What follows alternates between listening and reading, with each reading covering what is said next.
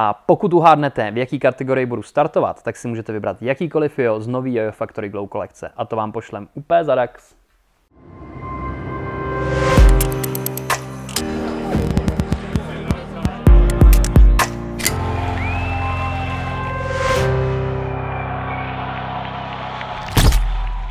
Jelikož se nám blíží mistrovství České republiky vyjování, tak se podíváme na největší kandidáty na vítěze.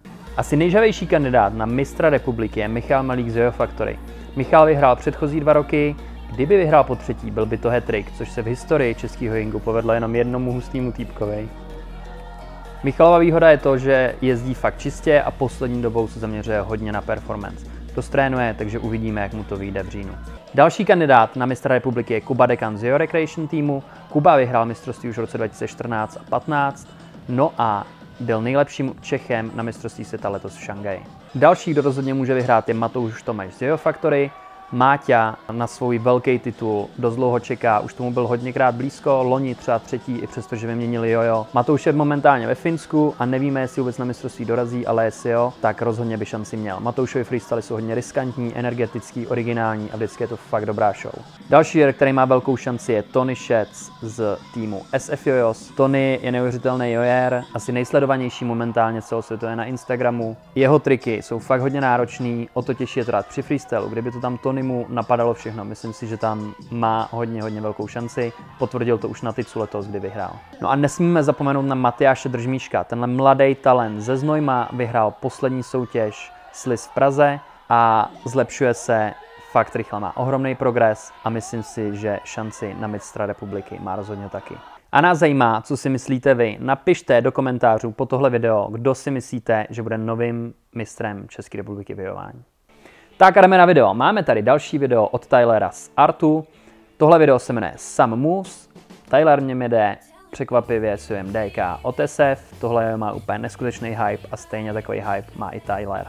Další video se jmenuje Roadrunner od Ovena Eggblada. Tenhle týpek je z Ameriky, je v Duncan Crew. No a jede svým Roadrunner.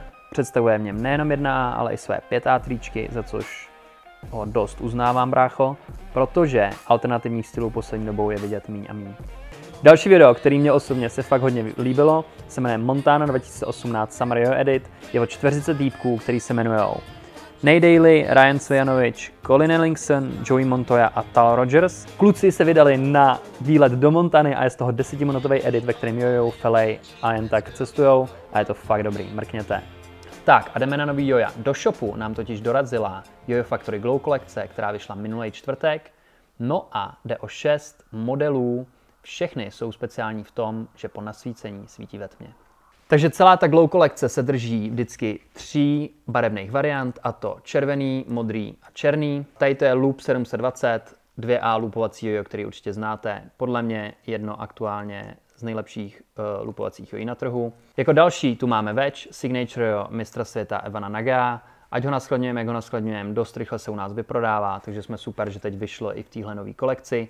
Máme ho ve všech barvách, opět červená, černá a modrá. No, to je Wedge. Jako další tu máme jo Nine Dragons, který jako jediný nevyšlo v těch třech základních barvách, ale i v téhle nové galaxii. A pak tu máme dva úplně nové modely. Oba jsou to různé varianty Joja Arrow, který u nás jako začátečnický je docela dost dobře frčí a je oblíbený.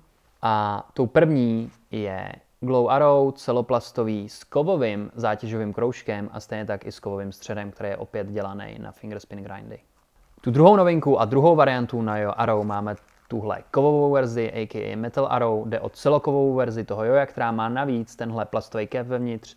Ten plastový cap a celkově ten metal hub uprostřed jsou fakt dobře tvarovaný a nadizajnovaný fingerspin grindy jsou s tím hlavem fakt příjemný a fakt dost easy. Myslím si, že za 700 pade je to fakt dobrý deal. Doporučil bych ho rozhodně všem jojerům, který třeba právě dojeli základy a chystají se na neresponsivní pokročilý jojování. Na letošním mistrovství se podílím jako organizátor, ale napadlo mě, že bych si mohl i zasoutěžit. Tak jsem se zaregistroval a pokud uhádnete, v jaký kategorii budu startovat, tak si můžete vybrat jakýkoliv jo z nový Jojo Factory Glow kolekce. A to vám pošlem úplně zadax. Hej, tak jo, tak se mějte. Díky, že koukáte na slušný news. Trénujte, komentujte, dejte nám vědět, účastněte se soutěže, ať vyhráte jedno z těchto cool Factory Glow kolekce. No a vidíme se příští týden. Ciao.